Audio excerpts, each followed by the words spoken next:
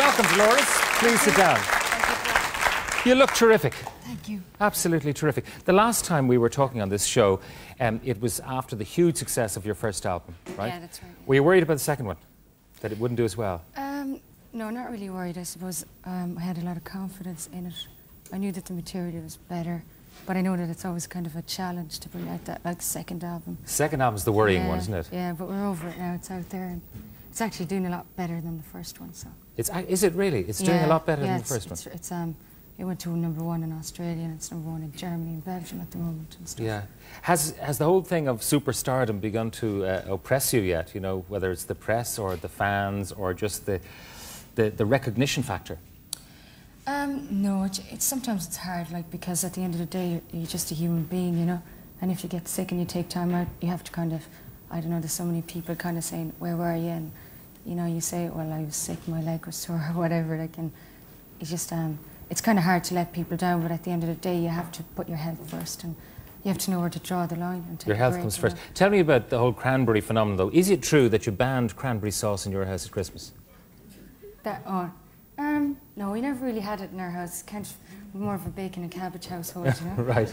and spuds, you know. So cranberry sauce is a bit foreign to my family. Yeah, no. There was this story in one of the papers that, you know, you were so sort of cranberried out of it that Yeah. you wanted no cranberry sauce on the turkey at Christmas. No, it was really nice actually because there wasn't much talk about it at home at Christmas. It was Right, pretty quiet. Family Christmas. It was a real family Christmas. It was Yeah. nice. Um, lovely Christmas, but a lot of the fans were a bit disappointed. Will you explain to us exactly about the knee injury, when it happened, and how bad it got? Well, I wore my mini skirt to display my scar. Um, like I've, I've got a, quite a big scar here, and I've got one here, and I've got four steel screws in there and a fiberglass ligament. So um, my leg's still very kind of skinny and weak, and there's no muscle. So sometimes it gets really sore because of the pressure on the joint because I don't have the muscle to support. So this you was the cruciate ligament. yeah, it's Yeah, now everyone knows one. about the cruciate ligament because Niall Quinn, Yeah. the Ireland um, goal scorer and Manchester City uh, player, he had it, injury, and it took him a good nine months, I think, to, to recover with Yeah. intensive physiotherapy. And Gazza I've had it as I've well. done no physio at all because on tour it's just too hard, you know. Like you're so busy with gigs and sound checks and stuff that I don't do physio, and then it just acted up over Christmas. It got really sore. And was there any particular thing that happened to it to, to Well, uh, I was in Disneyland and I kind of bumped it getting off a ride, so it was kind of sore. And I reckon just all the touring and jumping around because, you know, you, you go on stage and we were just out for about, I suppose, about six months on tour, and all the jumping around on stage, and suddenly you stop, and it's it's like if you're going to the gym and you suddenly stop working out, and it got really sore. So when I came back to Ireland, I knew that I really couldn't perform that well, you know, without resting it and doing some physio. You'd have to actually sit on a stool on the stage, which is not your act, right? Yeah, and it would just be too sore. I wouldn't really be able to enjoy myself. And Um, give it the when the decision was made, how tough was it to make that decision to pull the gigs? Oh, well, it's really hard to make the decision to pull any gigs, but I suppose you think that, you know, um, the people in Ireland would understand and accept the fact that you're you're sick. I think everybody here knew that I had the operation and stuff. And I mean, they're just postponed. They're rescheduled for June, like so. Um, hopefully in June it'll be well worth waiting for, you know. Yeah. Um, you got a little hassle from the press, though, because you were reported as having been seen out shopping. And, Yeah. I mean, they expected that if your leg was sore, that that's the kind of thing you couldn't Hibernate in a bedroom and go mental, yeah. Um, no, it's like, a, I mean, you know, it's like leg injury, you can walk, but there's a difference between walking and performing, you know, a big difference.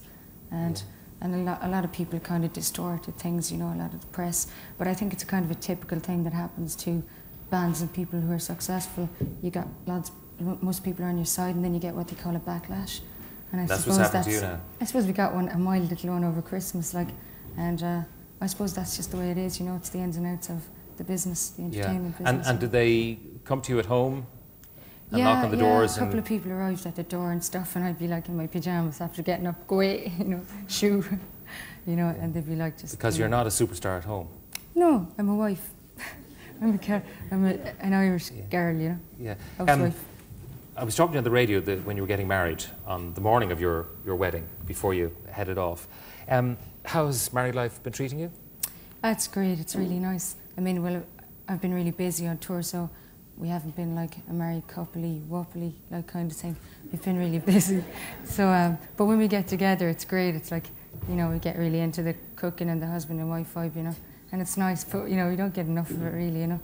But you know, it's kind of I'm young and I might as well go with the career, you know, and keep aiming for higher and higher, you know, and until I'm happy with what I've achieved Yeah, in my I'm, life. I'm know. wondering exactly what this husband and wife vibe is. I don't know. I, I think I've achieved It's it, like but it's like him making you breakfast in bed and you know oh. taking your shoes off for you and. Yeah, I think you I've a foot achieved that massage already. and all Yeah, that. I've done all those kind of things. things, I don't get those on tour too much. I'm sure you don't. And wh- what about family? Uh, I know you're mad about kids. I love kids. Yeah, um, me, uh, not for a while, I suppose. Um, I s um, it's kind of a big thing for a girl because you kind of get all, you know, and you have to go away. I mean, having this operation was enough for me, and I'm kind of scared of the idea of giving birth. So, you know, It's going to be a while. it'll be a while. But yeah. when you start, how many do you think you'll want to have? Oh, nine or ten of them. Loads of them. Uh, Yeah. Tried to talk my husband into it, you know, telling him the more the merrier, you know. Yeah, they'll, they, the, the older ones will raise the young ones and that sort of thing. That's it, yeah. Yeah. Big families are Does good. he come from a big family, Don? Yeah, he's got, um, I suppose, I think just six or seven. So he knows the vibe, Yeah. the family life vibe. Yeah, he's into family too. Yeah. And uh, where are you going to live, by the way? Where we just we were just granted our planning permission to build down in Kerry, so we're going to go ahead and build a home there, you know. And it gets easier the more we go back to, you know, the south because people just get more relaxed about seeing you, you know. And I, I like, you know, I don't want to be not be able to go shopping and push a trolley around in Quinnsworth and Dunnes and be normal.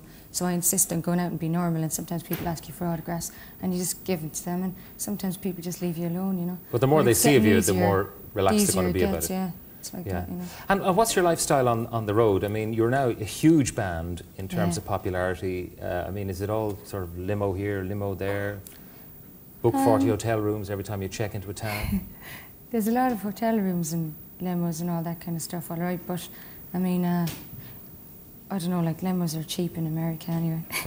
I suppose that's why they give them to us.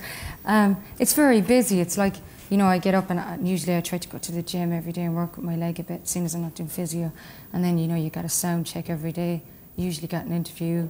And then you got to go back, makeup, clothes, performance, onto the bus. And on the bus, then usually sleep in a bunk from midnight till about seven. And at seven, you check in to a hotel on your next destination. You know, you travel overnight every night. So, and then you, you just, you know, Mm-hmm. Yeah, when like you're that. talking It's about pretty strenuous. working out every morning with your knee and so on, do you think it'll ever be right? I mean, or have you done I think it damage to yourself that, that will actually come against you maybe when you're older? I'll probably have arthritis and stuff, but that's okay. I would have probably had it anyway. My granny has and stuff. Your granny has it. Yeah, it's in the family, so it's okay. Does your, does your, is that on your mother's side or your father's side? My mother's side. Yeah, your mother's in the audience. Is she Yeah, all right? Does she have any fine. arthritis? No, she's none yet Oh, where is she gone? down there. Are you all right? Do you have any arthritis at all? Has she changed at all since she became a superstar? Not at all. no. She's the same Dolores the whole time. No, she's My not changed at hairdo. Uh, what do you think of the hairdo? Do you like it? Yeah, I love that one. As I love distinct the blonde. I don't, don't like the red. She's just red. I They say like they it. say that red is unlucky, supposed to be. First thing in the morning. There's Is that some right? rumor about it, yeah.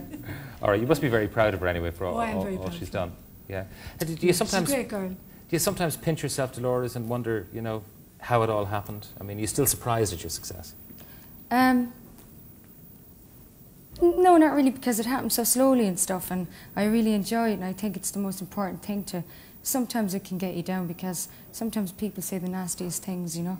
Sometimes people say the most hurtful things about you and take things out of context and try to misrepresent you. And that's, that's nasty and stuff, but it's the career I've chosen, and it's one of those things I gotta accept, you know. What about stories that have been floating around that you want to go solo? Any truth in those?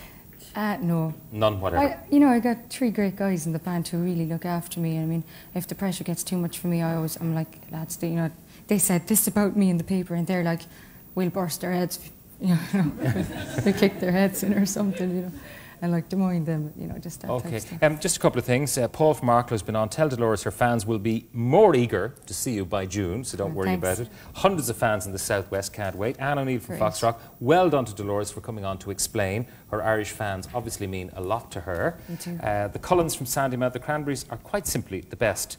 Tell them they leave everyone, including you two, standing. so Ah, there's, there's an accolade. Eh? And, I should ask you, what's, um, what's next? I mean, where are you going to from here? When are you next? Well, we're um, back to London for some press and stuff. Some, um, doing something with the Rolling Stone and stuff at the moment. Some press, and then we go out to Germany. We do some gigs there where the album's number one, so that's going to be great. And then we go to Spain and around Europe, and then we go and we do MTV Unplugged in February in New York. Then we go to Australia for a while, Japan, America, and then we get a week off. And, And I think then we're doing here. European dates with REM and some. I think we're doing some uh, festivals. We're not sure yet. Nothing is really confirmed. And I reckon you guys will be top of the bill. Ah, hopefully. Hopefully you will. Yeah. Look, it couldn't happen to a nicer person. Dolores, thanks, Thanks very much. Nice seeing you again. thanks- Dolores O'Riordan at the Cambridge. Thank you very much indeed.